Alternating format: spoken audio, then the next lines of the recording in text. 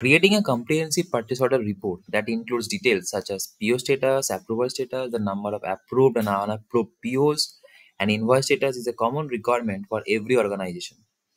With business performance analytics, these details can be easily achieved by generating a report from scratch on this topic. In this lesson, I will teach you how to create a purchase order report. I will create a new report by clicking on new. I will give a name select Power BI, start with the blank template, create. Our report is created, PO status report. I will select edit. I will delete this defaulted slicers. First thing I will do, I will bring a count for PO. For that, I will select this card. I will resize this one I'll keep it like this. And here I need to I want to see how many purchase orders are there in system. For that I will just go to the matrix. From the matrix I will select purchase order and then purchase order count. The count has come here. Next thing I will do I will select this clustered bar chart. In this clustered bar chart I will use how many are purchased how many purchase orders are confirmed approved the status? Here i will use the status of the purchase order. I will select this. I will resize this one. To bring the purchase order status we will go to facts. Under facts under purchase order under other columns we will see the status. I'll just bring the status here. And in the x-axis i will get the purchase order count we'll go to matrix. From here I will just bring the purchase order count. So now if I click on this focus so we have another clustered bar, bar chart which stays which denotes status wise count. How many are invoiced and how many are open order or how many are confirmed. Next we will bring the purchaser approval status. Again, we will use this clustered bar chart. To bring the purchase order approval status, again we will go to facts. Under purchase order, other columns, here we will see approval status. This one.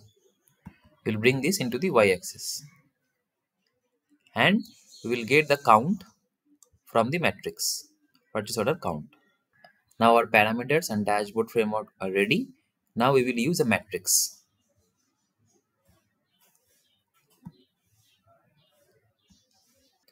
In this matrix, we will bring all the details related to purchase order like purchase order status, purchase order approval status, line number, purchase order invoice number, delivery status, purchase order line status, everything, whatever is required to create a purchase order report. So most of the thing we will get it from the dimensions and facts. First, we will bring the currency.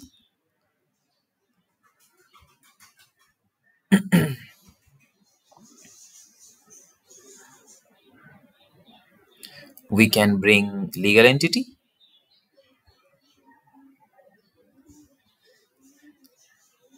We can bring vendor number or vendor name from the selling party.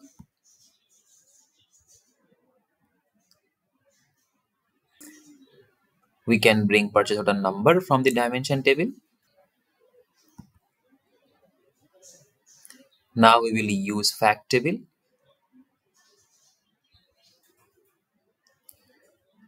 Purchase order fact table. Under that i can bring many things like approval status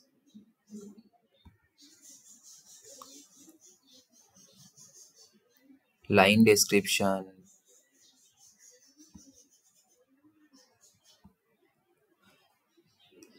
line unit price, line unit of measure, line status.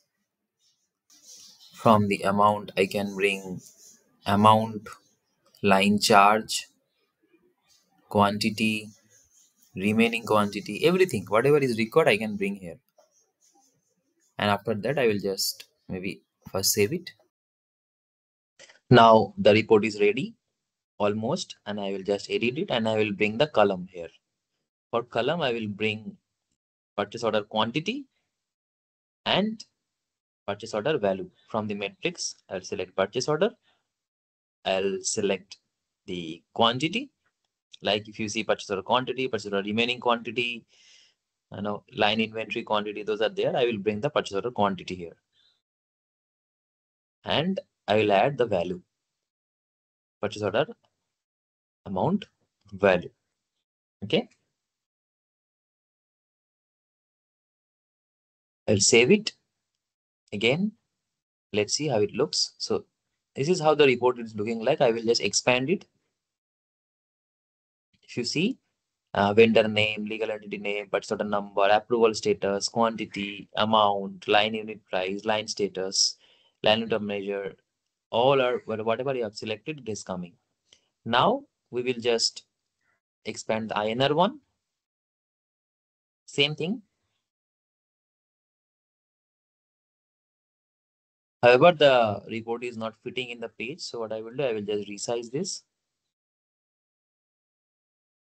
I will click on edit. What I will do, still not fitting it. So what I will do, I will rename those fields, column fields or row fields to make it short.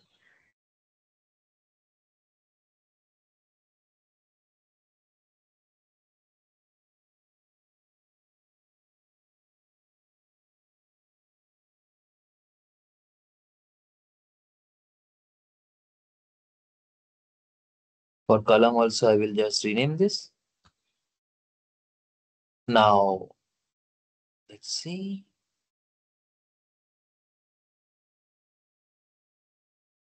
Now the report looks good.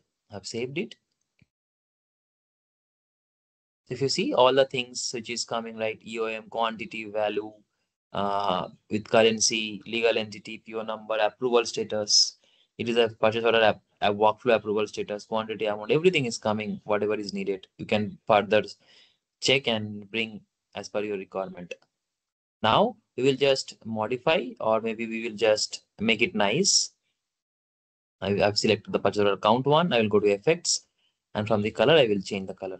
So like this way, you can you can modify or beautify this report as per your requirement.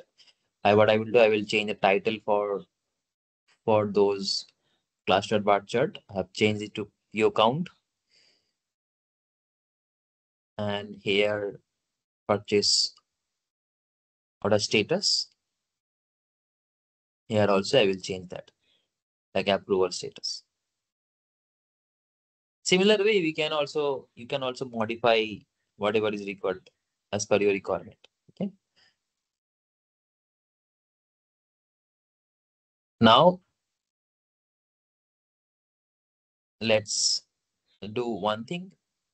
Let's add slicers because we have added the flat dashboards like status, PO count, but we don't have any parameters added. So what we are doing, we are adding the slicers like we have done in our previous uh, videos as well, right? So here I'm adding the slicers like currency, currency type. From here, I will change that drop down like, oops, oh, okay. I will select the drop down from the field para from the field parameter, just select the currency type. So now the second one, I will I will bring the year as a parameter. I will change the slicers from vertical list to drop down. I will resize this one. The last one.